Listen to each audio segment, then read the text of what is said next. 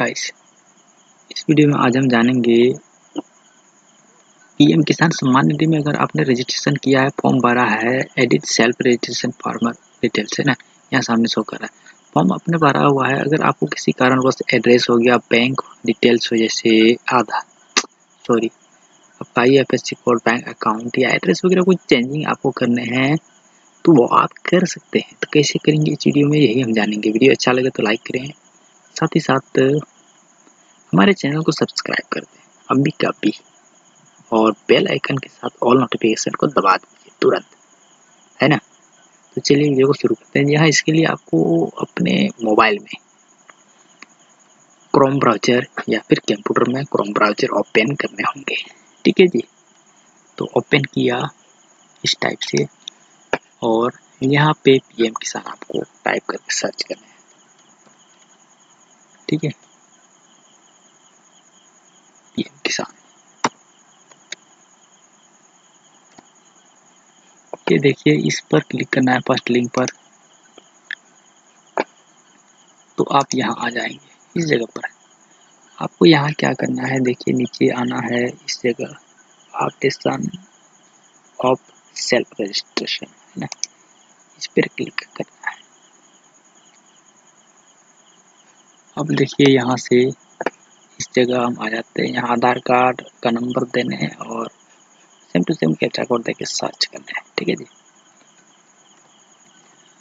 अब सर्च करने के बाद देखिए आपके सामने क्या खुल कर आ जाता है नीचे।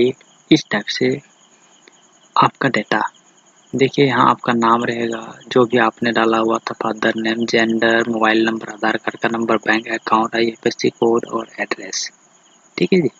तो आपको क्या करना है, उसके राइट साइड में एक्शन पे देखिए, आपको एडिट करने का एक ऑप्शन आता है, ये हाईलाइट हो जाता है, इस पर आपको क्लिक करने होंगे।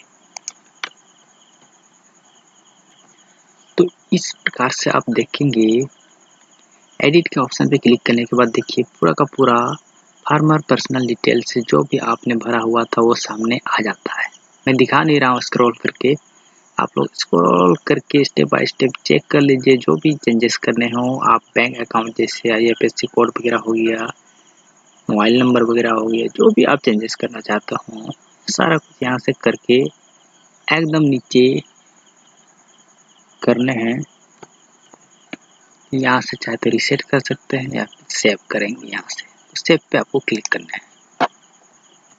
तो सेव पर क्लिक करते ही आपके सामने एक अलर्ट मैसेज ऊपर आएगा इस टाइप से, जैसे देख रहा है यहाँ पे you have updated successfully with three your identity proof number है ना? ये आपका, यहाँ से आपको ओके करने होंगे।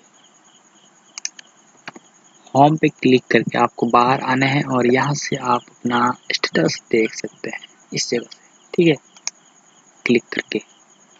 फिर से यहाँ आधार कार्ड का नंबर और इमेज कैप्चा डाल के सर्च कीजिए।